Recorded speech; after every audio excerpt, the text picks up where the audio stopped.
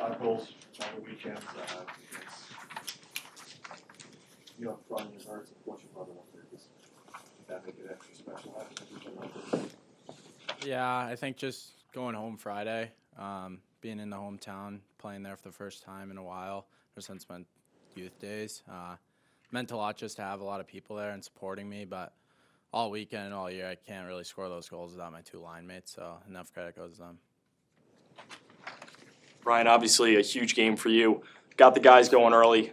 Was it one of those games where you just felt like you had it, you had the hot stick, and you had to have the puck?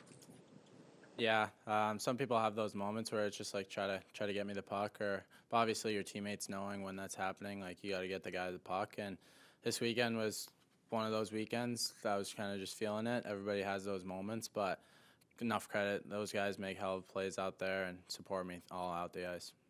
You say it's about your teammates knowing when to get you the puck. Is that something you communicate to them, or do they just you play together so much? I mean, we have so much chemistry. We've played together the last two years, two and a half years now. We know where each other are. Um, it's so much fun playing with those guys, and yeah, it's just a blast.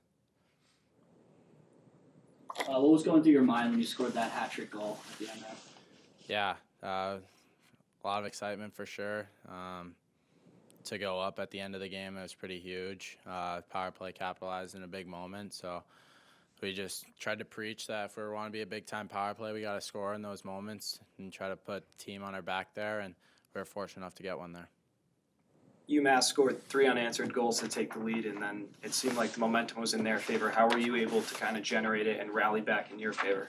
Yeah, I think if we want to be a tremendous team at the end of the year, we got to find ways to win when adversity is at us. And Jamie Armstrong had a great tip to get us going, and we knew we just had to calm down a little and just get a good bounce, get on the forecheck, and make things happen. And we weren't that worried.